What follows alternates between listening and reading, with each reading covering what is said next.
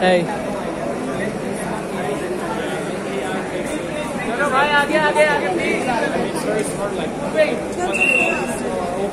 Everything else, Google and everything. It's very smart, but um, it's always trained in some specific task.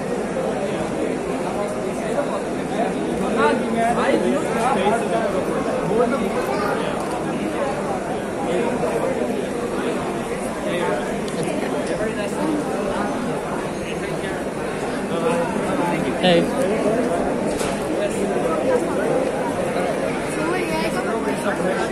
Hey, dude. Uh, not showcase it because um, the battery is empty.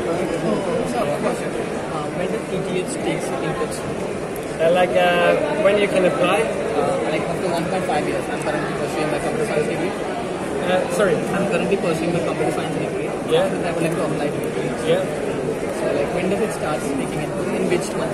Ah, okay, so normally um, applications are until the end of uh, November.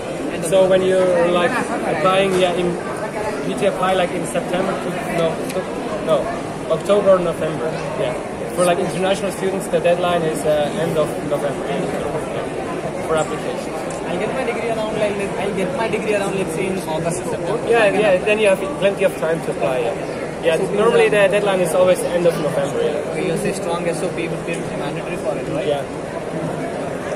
Uh, I mean, my, my space of domain is cybersecurity. Nice.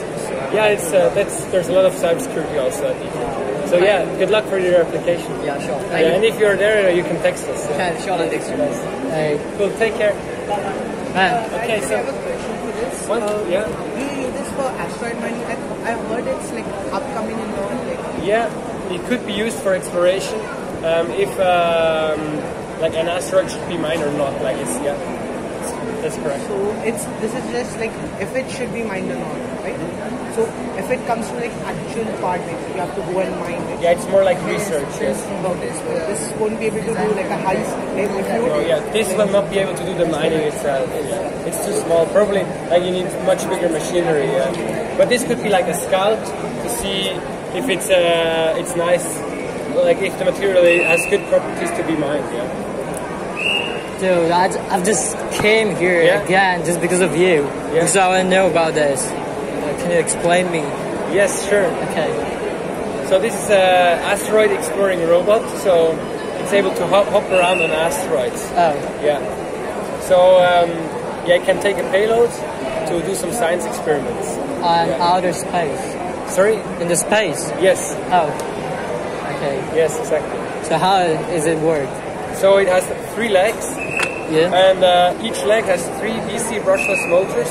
You can jump around, and um, yeah, that's the way it works. Like um, it does not drive, it does not fly, it jumps with its legs. So uh, a personal question. Yeah. So is there any certain way that I can get in contact with you?